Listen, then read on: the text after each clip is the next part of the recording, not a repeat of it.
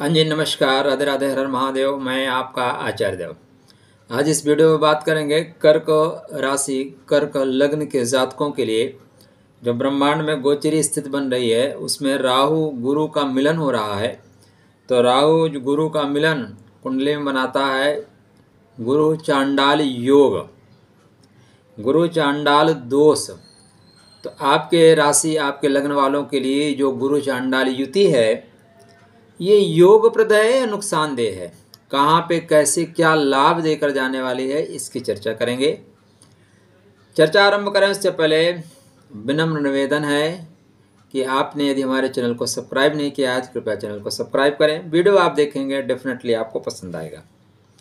ज्योतिष मंजरी नक्षत्रवाणी नक्षत्रों के आधार पर कार्य करती है। तो आप पुनर्वसु पुष्य अश्लेषा, पुनर्वसु पुष्य अश्लेषा पुष्य जो नक्षत्र होता है ना, ब्रह्म वर्चस्व शक्ति लेकर चलता है। इसीलिए इसको सर्वश्रेष्ठ नक्षत्र की उपमा दी गई है।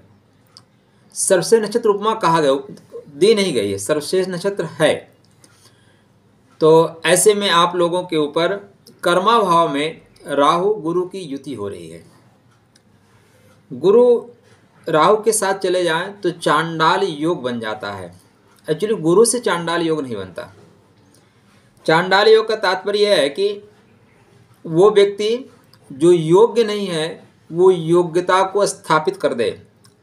अपने आप को स्वघोषित शंकराचार्य घोषित कर दे। जैसे वर्तमान में क्या होता है कि राजनीति में देखिए, सब ईमानदारी और भ्रष्टाचार की लड़ाई लड़ रहे हैं। सारे लोग गरीबों की लड़ाई लड़ते लड़ते अमीर बन जाते हैं और गरीब गरीब रह जाता है। जो भ्रष्टाचार के लिए आते हैं कि हम इस राजनीति से भ्रष्टाचार को उखाड़ के फेंक देंगे, वो भ्रष्टाचार में आकंठ डूब जाते हैं। जो ये घोषणा करते हैं कि बच्चों की कसम खा के कहता हूँ, ये नहीं करूँगा, गाड़ी बंगला नहीं लूँगा, और जाते ही पहले गाड़ी बंगला लेते हैं। इसको बोलते हैं गुरु चांडाल योग मतलब वादा तो आप कुछ और करते हो, और बाद में जाके कुछ और लेना शुरू करते हो। तो ऐसे लोग समाज में आगे आते हैं, ऐसे लोग आपके ऊपर हावी हो जाते हैं, दरअसल जिनको जो अपने रिस्पॉन्सिबिलिटी से दूर चले जाते हैं, ठीक है ना? रिस्पॉन्सिबिलिटी तो उनकी कुछ और होती है, करना कुछ और शुरू कर देते हैं। तो आपके कर्मा भाव में गुरु चांडाल योग का निर्माण हो रहा है। तो राहु कर्मा भाव में बेहतर करेंगे, यहाँ पे गुरु नवम भाव के अधिपति हैं, नवम भाव के अधिपति हैं। साथ में छठवें भाव का कारकत्व तो लेकर भी चल रहे हैं तो कर्म भाव में गुरु चांडाल योग का मतलब है आपके पिता के स्वास्थ्य पे नकारात्मक असर पड़ रहा है स्टार्टिंग में। देखिए आपकी कुंडली में गोचर स्थिति को देखिए ना तो एक जुलाई तक आपके जो मंगल महाराज हैं ना, उनके ऊपर बहुत, वो बहुत अच्छी कंडीशन में नहीं है। तो एक जुलाई तक मतलब पूरा जून तक काल सॉरी गुरु चंडाल योग का प्रभाव आपके कुंडली पर डेफिनेटली पड़ेगा। एक जुलाई के बाद जब मंगल प्रबल हो जाएँगे, तब स्थितियाँ ठीक हो जाएँगी। तो पहला काम क्या करेगा? पिता के सेहत को, पिता के स्वास्थ्य को विशेष ध्यान रखना है आपको। जहाँ पे आप काम करते हैं, वहाँ पे वर्किंग प्लेस पे ध्यान दीजिए, क्योंकि आपके अनुपस्थिति में लोग जो है आपके बुराई करेंगे, आपकी कमियाँ खोजेंगे, और प्रेजेंट टाइम में जो समय चल रहा है, ठीक है ना? अप्रैल और मई। मई में भी दस मई तक। इस बीच खतरा बन रहा है आपकी नौकरी जाने का। आपकी नौकरी जाने का खतरा बन रहा है। अस्त गुरु जो है जा रहे हैं गुरु चांडाल योग में। यहाँ पे गुरु की जो एनर्जी को राहु अधिग्रहित कर लेगा। तो यदि आपकी कुंडली में अगर राहु बहुत अच्छे पोजीशन में है, ठीक है ना? आपके कुंडली में राहु महाराज एकादश भाव के हैं। राहु महाराज आपकी कुंडली में थर्ड हाउस के हैं। राहु महाराज आपकी कुंडली में सिक्स हाउस के हैं। तो बढ़िया फल देंगे। शत्रुओं का नाश करेंगे, प्रतिस्पर्धात्मक परीक्षा में सफलता देंगे। देखिए मेन पॉइंट को पकड़िएगा। आपकी कुंडली में अश्विनी नक्षत्र में राहु गुरु की युति हो रही है। अश्विनी नक्षत्र, मुलाकात कहाँ हो रही है? हमारी आपकी मुलाकात कहाँ हो रही है बहुत महत्वपूर्ण है। हम सही प्लेस पे मिल रहे हैं, मान लीजिए धार्मिक प्लेस पे मिल रहे हैं, धर्म की बातें करेंगे। हम कहीं पे दारू पार्टी में मिल रहे हैं तो दारू की बातें करेंगे। राजनीति स्तर पर मिल रहे हैं, राजनीति की बातें करेंगे। तो इन दोनों की उपस्थिति कर्म भाव में हो रही है और कर्म भाव में केतु के अश्विनी नक्षत्र में हो रही है, जिसका मतलब है गति पकड़ना, गतिमान हो जाना। तो गति पकड़ेंगे, काम को स्पीड पकड़ाएँगे। जो काम आपका रुका हुआ है, उसको स्पीड से चलाएँगे। तो स्पीड से चल नहीं पा रहा है आपका काम, क्योंकि गुरु, महाराज तो यहाँ पे स्पीड पकड़ाना चाहते हैं। मंगल महाराज द्वादश में चल गए हैं तो आपके कर्म का व्यय हो जाएगा। जो भी आप काम करेंगे, उसका लाभ नहीं उठा पाएँगे। काम बार बार रुकेंगे, अवरोध आएगा। तो ये स्थिति बन रही है। पिता से अनबन हो सकती है, सरकार से आपके बिगड़ सकती है। सरकारी पद पे हैं, तब आपको नुकसान हो सकता है। सरकार से कोई टेंडर ले रहे हैं, उसमें रुकावट आ सकती है। कोई नौकरी वगैरह कर रहे हैं इंक्रीमेंट चाहते हैं तो इंक्रीमेंट में रुकावट आएगी प्रमोशन होने वाला है तो प्रमोशन में अवरोध उत्पन्न होगा। यह स्थिति आपके कुंडली में 21 मार्च से लेके 30 अक्टूबर तक बनेगी, लेकिन फलित ज़्यादा होगी 21 अप्रैल तक। ध्यान दीजिएगा, पूरा अक्टूबर तक आपको यूट्यूब जगत में बताया जाएगा, लेकिन ऐसा नहीं है, डरिएगा नहीं। यह योग 21 अक्टूबर 21 जून के बाद कम हो जाएगा। क्यों कम हो जाएगा? क्योंकि गुरु महाराज भरणी नक्षत्र में प्रवेश कर चुके होंगे, भरण पोषण के नक्षत्र में। और धीरे से राहु फोर्थ पदा से थर्ड पदा में आएगा, थर्ड पदा से सेकंड पदा की ओर जाएगा, लेकिन गुरु स्पीड से निकल जाएँगे भरणी नक्षत्र में। तो राहु की स्पीड 80 70 80 की है तो गुरु की स्पीड 120 या 150 की स्पीड से है। तो दोनों का जो आपस में मिलन हो रहा है, गति ज़्यादा है तो ज़्यादा समय तक रहेंगे नहीं। पंद्रह से बीस दिन इसका ज़्यादा नकारात्मक प्रभाव आपके ऊपर पड़ेगा। स्टार्टिंग कर रहे हैं अश्विनी नक्षत्र के प्रथम पार्ट से। 21 तारीख से 15 दिन ले लीजिए अच्छा रहेगा। द्वितीय तक अच्छा रहेगा।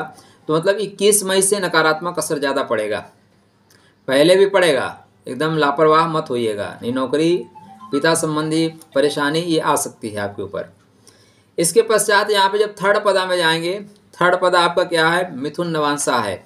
और मिथुन नवांसा आपके लिए बिल्कुल बेहतर नहीं है व्यभाव का स्वामी है तो ये सबसे खराब टाइम होगा गुरु चंडाल योग का। गुरु चंडाल योग में है क्या ऐसा? राहु देखिए, अनंत है, राहु आकाश है।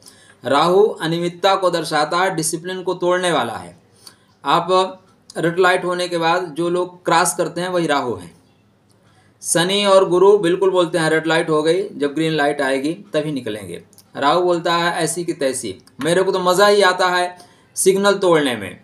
तो राहु नियमों को नहीं मानता, गुरु नियमों को मानते हैं। अब एक आदमी नियमों को नहीं मानेगा, दूसरा आदमी उसको भी खींच के ले जाएगा। मतलब आप पीछे बैठे हैं, आगे राहु बैठा है, आपको ड्राइवर है, वो खींच के ले जाएगा, आपको भी फंसा देगा। आपको भी फंसा देगा, चार सीट में आपका भी नाम आएगा, इसलिए सावधानी अपेक्षित है। सावधानी अपेक्षित है। राहु का एक और प्रभाव है। कितने भी ग्रह बैठे हो ना, राहु सभी की एनर्जी को ग्रहण कर लेता है, खींच लेता है। एक बढ़िया क्वालिटी का चमचा है। और देखिए, चमचे हर जगह सक्सेस हैं। चमचे हर जगह सक्सेस हैं। यत्र तत्र सर्वत्र, उन्हीं की जय जयकार होती है। राहु धुआँ है। आप आग जला के बैठे हो, दूर तक पता नहीं चलेगा, लेकिन उसमें एक एक गिलास पानी डाल दीजिए धुआँ धुआँ हो जाए, दूर दो किलोमीटर, चार किलोमीटर पता चलेगा कहीं कुछ हो रहा है, आग जल रही है। तो राहु करता कम है फैलाता ज़्यादा है, रायता ज़्यादा फैलाता है। तो इसलिए यहाँ पे काम में आप जब करोगे तो उसमें फलित कम होगा, रायता ज़्यादा फैलेगा। इसलिए वर्किंग प्लेस पे ध्यान दीजिएगा, क्योंकि मंगल भी राहु के नक्षत्र में चल रहे हैं। उसके बाद नीच के हो जाएँगे। उसके बाद नीच के हो जाएँगे, आपके राशि में आएँगे। तो यहाँ पे राहु गुरु की जो युति है, वो गुरु चंडाल योग का निर्माण कर रही है। गुरु चांडाल योग आपके कर्मा भाव में बन रहा है तो भाग्य में रुकावट आएगी। शत्रु प्रबल होंगे, जहाँ पे आप काम करते हैं, वहाँ पे परेशानी आएगी। पिता के स्वास्थ्य में परेशानी आएगी। उच्चस्थ अधिकारियों से आपकी बिगड़ सकती है। ऐसे गुरु की दृष्टि लेके पंचम दृष्टि आपके धन भाव पे होगी तो धन भाव का नुकसान होगा। सातवीं दृष्टि आपके चतुर्थ भाव पे होगी तो सुख में कमी आएगी। ठीक है ना? हाँ शत्रुओं पे होगी तो शत्रुहंता योग बनाएगी। ये भी एक अच्छा पॉइंट आएगा। लेकिन आपके जो अपने लोग हैं, वो आपको प्रॉब्लम क्रिएट करेंगे। क्या करें? गुरु को मज़बूत करिए। यदि आपको पता है कि आपकी कर्क लगन है तो डेफिनेटली आप एक गुरु के लिए स्टोन पहन के रखिए पुखराज। सिर्फ़ कर्क राशि आपको पता है, लगन पता नहीं है तो आपको पुखराज पहनना नुकसानदेह हो सकता है। मान लीजिए मकर लगन है कर्क राशि है तो नुकसान दे दे जाएँगे। तुला लगन है कर्क राशि है, नुकसान हो जाएगा। इसलिए स्टोन जब भी पहनिएगा, लग्न के आधार पर पहनिएगा, राशि के आधार पर नुकसान दे देगा। क्या करें? गुरु के मंत्रों का जाप करिए, राहु से संबंधित चीज़ों को डिस्कनेक्ट करिए। राहु के मंत्रों का जाप करिए। आप जहाँ पे सोते हैं, उसके साउथ साइड की दीवार में एक येलो कलर का गुलदस्ता टांग के रखिए। ओम भ्राम भ्रीम भ्रोम सा रावे नमः इस मंत्र का जाप करिए, बेहतर परिणाम मिलेगा। अपराजिता का कहीं फूल मिल जाता है। सात पीस फूल लेके अपने ऊपर से सात बार उतार के शनिवार के दिन बहते हुए पानी में प्रवाहित करिए। बेहतर परिणाम मिलेगा। कहीं किसी मंदिर प्रांगण में दो केले का पौधा लगा के रखिए। अपने गुरु या गुरुजन सदृश लोगों को प्रणाम करते हुए चलिए। पिता से किसी भी कंडीशन में बिगाड़िएगा नहीं। बाप मतलब बाप। बाप मतलब सूर्य। बाप मतलब आत्मा। आपके लिए संसार वही है। तो वो कुछ कहते हैं। इग्नोराय नमः। बास की सुन लेते हो ना? बाप की भी सुना करिए महाराज। पूरे जीवन उसने खपा दिया है आपको पालने पोसने में।